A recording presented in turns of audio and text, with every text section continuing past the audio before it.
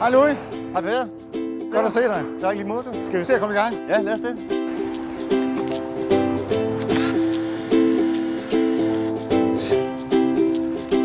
Det har jeg glædet mig rigtig meget til.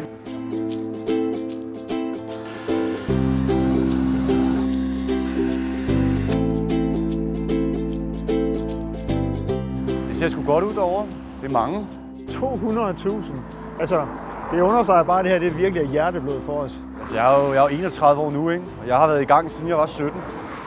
Så hvis jeg skal fortsætte til jeg er 73, altså, så kan, det kan da godt være, at jeg kommer levende ud, men det bliver ikke noget otium. Det gør det ikke. Det er vel også et eller andet med, at man gerne vil værdigt for arbejdslivet, ikke?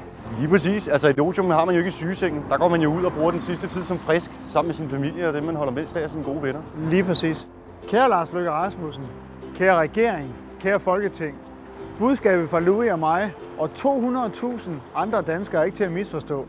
Vi er parat til at levere godt arbejde, også når det er fysisk hårdt. Men vi vil ikke være med til at hæve pensionsalderen, alene fordi regeringen og Folketing vil give topskattelettelser til dem, der i forvejen har. Det går ikke.